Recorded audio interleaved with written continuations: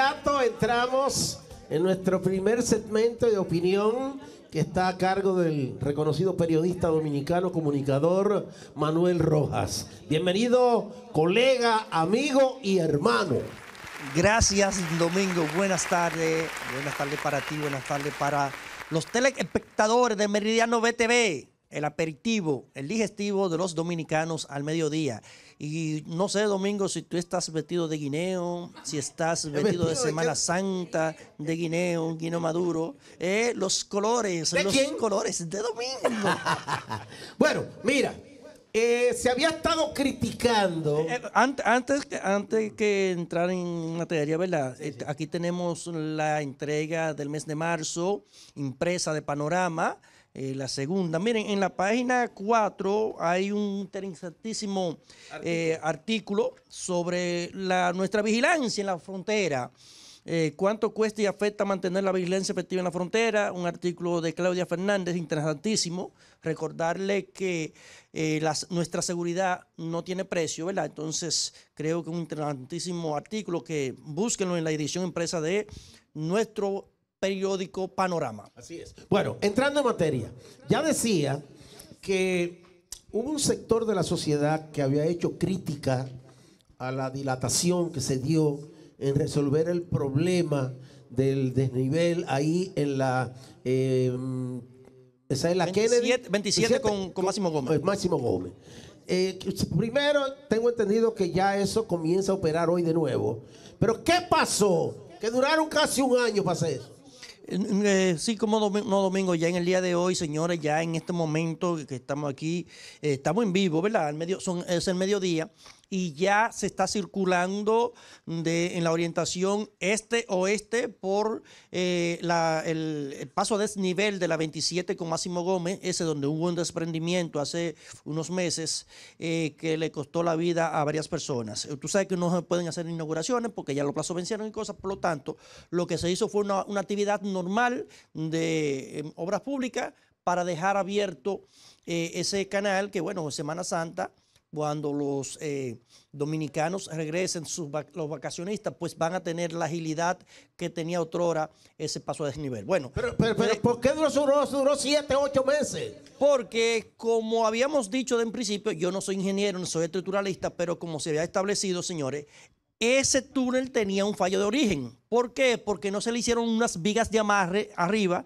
para que no permitieran lo que pasó, que colapsaran las paredes. Entonces, había también que eh, hacerle un sistema para que drene el agua cuando cae mucha, una cantidad enorme y como no, unas, unos amarres que había que hacerle en las profundidades, porque eso lo pusieron fue una pared, fue una losa lo que pusieron ahí y eh, encima de eso cortaron un sistema de drenaje que había anteriormente ahí que iba en la misma dirección de la Máximo Gómez bajando y lo que hicieron los genios que construyeron ese túnel fue que cortaron el túnel y en lugar de esa- esas tuberías que bajaban al malecón hicieron un sistema, eh, un pozo filtrante, pero el pozo filtrante no tenía las capacidades que tenía el sistema de drenaje anterior y lo que hicieron fue que cuando se produjeron aguaceros como los que hubo, entonces el agua no pudo fluir por, ese, por esa tubería que, pusieron y lo que hizo fue que colapsó. Hay que decir que esa fue una de las obras importantes que hizo el presidente Joaquín Balaguer. No, no, eso lo hizo Leonel Fernández. Ah, fue. Leonel Fernández. Sí, eh, el ingeniero de Andino Peña, que en todo lo que puso la mano parece que hubo asuntos eh, que lamentar. Así. Bueno, hay otro tema que es el del diario Vivir. Jan Alain, el ex procurador general de la República. Yo quiero que tú me, de- eh, detalles aquí. eh, ¿Qué es lo que está pasando? Eh, ¿qué- qué- ¿Cuáles son los procedimientos? ¿En qué plano estamos con relación a este caso? Mira, sí, eh, un golpe duro, un golpe extremadamente duro para la defensa de Jan Alain y para él mismo en su caso, porque ayer Jonathan Joel Rodríguez, quien era el administrador de la Procuraduría General de la República en la gestión de Jan Alain Rodríguez, se declaró culpable. ¿Y qué dice eh, Jonathan Joel Rodríguez y su abogada? Bueno, pues él confesó que él, por orden de Cano Alfau, que era el segundo al mando, y de Jan Alain Rodríguez, él se apersonaba con los contratistas, con los ingenieros, con los suplidores de la Procuraduría y él era el que buscaba los pagos de los sobornos, de las especulaciones, de los, eh, arma- a- lo- lo- la- los entuertos que se hacían para robarse el dinero, tanto que iban para las cárceles, para la comida, como para la construcción del nuevo sistema penitenciario. Se habla de miles de millones, señores. Oigan esto, ¿eh? Miles de millones. Aquí Domingo que vive gritando a cada rato de que no, porque tengo que en una propuestica de... De 40 mil pesos. ¿Eh? Eh, eh, duran 10 años, 10 días, que mañana, que pasado, y te mandan 20. Y después... y después ese 20 hay que darle la mitad a la emisora. Y después, quedan 10. y después que Esa pagar los industria. impuestos y el asunto y, y el suplidor de Estado y todas esas cosas. Entonces, señores, Jean Alain Rodríguez y ese equipito, señores, se robaron a confesión de Jonathan Joel eh, ¿Cu- ¿Cuánto estimadamente? miles de millones. Pero, esos miles tienen un número. Miles. No han dado la cifra, pero la abogada dijo que fueron miles de millones.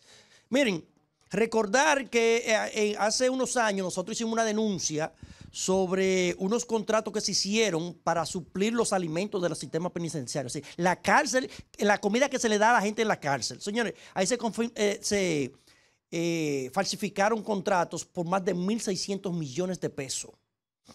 ¿Y quién dirigía eso? ¿Quién era la cabeza de manejar eso? Bueno, él dice que él era que se encargaba, ¿verdad? Por orden de Jean, de Jean Alain Rodríguez y de eh, Rafael Cano, eh, Cano, que él, él era el intermediario con los suplidores y que cuando se hacían las transacciones y se hacían los pagos, entonces él era que iba a buscar ese dinero y se lo entregaba personalmente a Jean Alain Rodríguez. Pero le daban lo suyo también. Bueno, claro que sí. Hay que darle Eh, lo suyo. Claro que sí, porque nadie, nadie trabaja de gratis. Entonces, él, eh, ellos no llegaron, a, no llegaron a un acuerdo con la Procuraduría, sino que su abogada le recomendó hacer una defensa efectiva, declararse culpable, colaborar eh, para que entonces eh, las penas sean menores. Entonces, Jean Alain Rodríguez que ha montado una campaña a través de muchos comunicadores de desacreditar a Miriam Germán.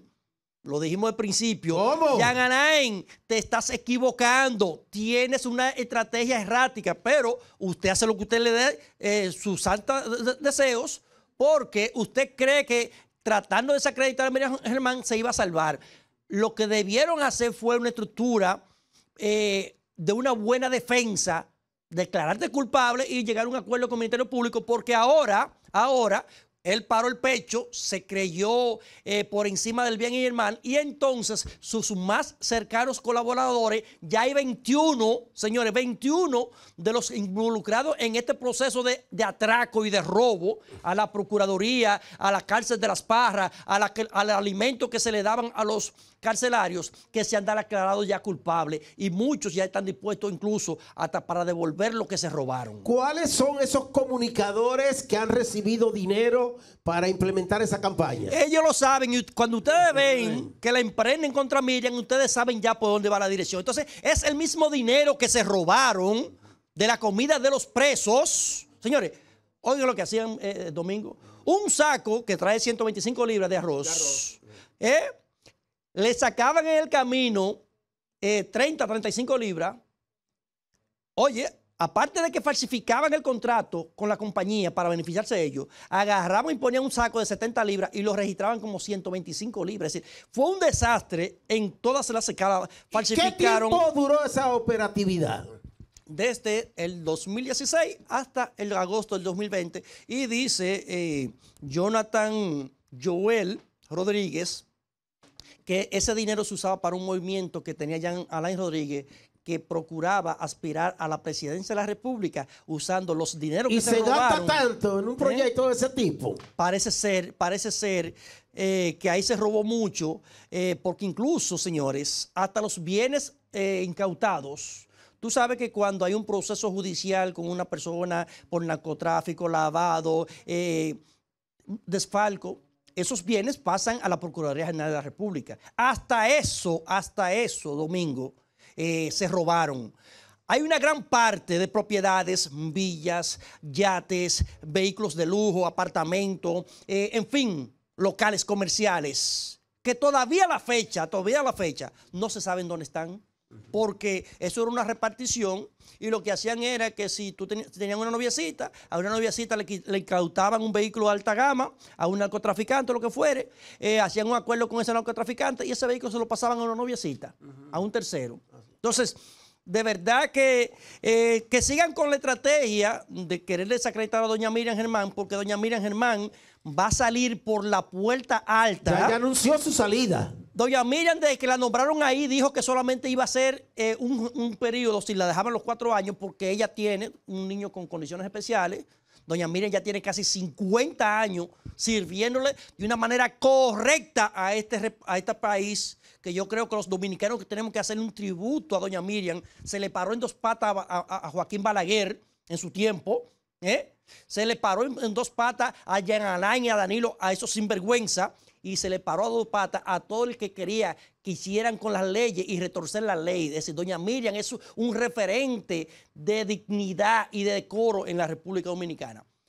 A Jean Alain, que siga con esa campaña mediática, doña Miriam se retira, sale por lo alto, pero para perjuicio de él y para... Eh, eh, en contraposición con lo que ellos, miren, a veces, señores, hay que tener cuidado con lo que se desea, porque ellos quieren que doña Miriam salga. Y doña Miriam va a salir no porque ellos quieran, sino porque doña Miriam dijo que solamente ya hasta el 16 de agosto. Ahora, la persona que va a venir después de doña Miriam. ¿Quién es? Dame la eh, primicia. La persona, le tengo para decir a Jan Alain, ese grupito, que han querido de, eh, una forma eh, diabólica desacreditar a doña Miriam, quien viene después. Es peor, es más agresivo. Les va a ir a ustedes mucho peor, y valga la redundancia, ¿verdad? Porque mucho peor son dos superlativos. Le va a ir muy peor que con doña Miriam. Así que, doña Miriam. ¿Podemos dar el nombre del que va? Todavía no, porque falta. Eso fue en el 16 de agosto. Pero, eh, eh, pero entonces, señores, a veces. Es un hombre que va entonces. A veces hay que tener cuidado con lo que se desea porque a veces tus deseos se pueden convertir en una gran pesadilla. Eh, Padilla, no insistas, no insistas, Padilla, porque eh, cada cosa en su tiempo, cada cosa, cada cosa va en su lugar y en el, momento justo y en las justas medidas. Mira, eh, yo tengo la inquietud de saber si es un hombre, una mujer o es un Rafael, Rafael Padilla. Señores, miren, en Semana Santa, todo lo que usted vaya a tomar, tómelo con calma. El lunes, recuérdense que el lunes, como decía una promoción aquella, el lunes debe ser un mejor día para usted y lo suyo. Así que eh, es para reflexionar, para meditar, para estar tranquilo. Bueno, señoras y señores, aquí finaliza la propuesta de opinión de nuestro compañero el periodista Manuel Roja. No se mueva.